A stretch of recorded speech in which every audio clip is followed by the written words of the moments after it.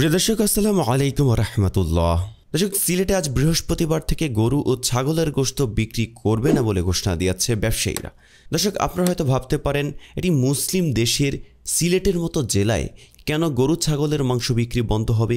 এটা তো ভারতের কোনো রাজ্য নয়, এটা বাংলাদেশের মতো মুসলিম দেশের একটি জেলা, সিলেট। যে জেলার মাটিতে শুয়ে আছেন অনেক বড় বড় পিরালিয়ারা। আর সেখানে গরুর মাংস বিক্রি বন্ধ করা হবে।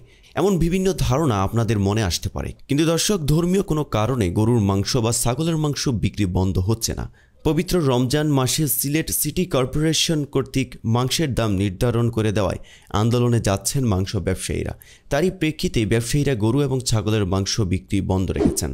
সাতই এপ্রিল বৃহস্পতিবার থেকে তারা গরু ও ছাগলের মাংস বন্ধ রেখে আন্দোলন করবেন, এমনটি ঘোষণা দিয়েছেন ব্যবসায়ীরা। যতদিন তাদের দাবি না মানা হবে, ততদিন গরু ছাগলের মাংস বিক্রি করবেন না বলে ঘোষণা দিয়েছেন তারা। বুধবার দিবাগত রাত একটার দিকে এক জরুরি বৈঠক শেষে সিলেট মহানগর মাংস ব্যবসায়ী সমবায় সমিতির নেতৃবৃন্দ এই ঘোষণা দেন। সমিতির সাধারণ সম্পাদক আব্দুল খালিক আমাদেরকে বলেন, মহানগর এলাকায় সিলেট সিটি কর্পোরেশন কর্তৃক গরুর মাংস ছয়শো ও ছাগলের মাংস আটশো পঞ্চাশ টাকা নির্ধারিত করে দেওয়া হয়েছিল।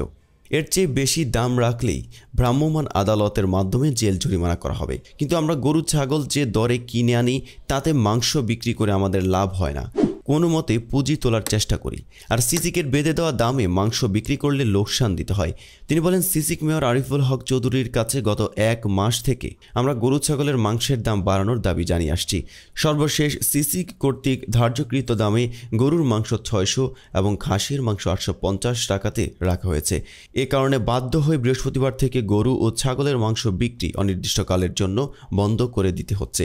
সিলেটের মীরাবাজারের মাংস ব্যবসায়ী নেতা আরিফ মিয়া বলেন আমরা সিলেটে বেশি টাকা দিয়ে গরু কিনতে হয়। সিলেটের বাহিরের তুলনায় অনেক বেশি দাম। আর গরু, ছাগল বাইরে থেকে কিনে আনতে হয়। এ কারণে পরিবহন খরচ সহ পশুর দাম বেড়ে যায়।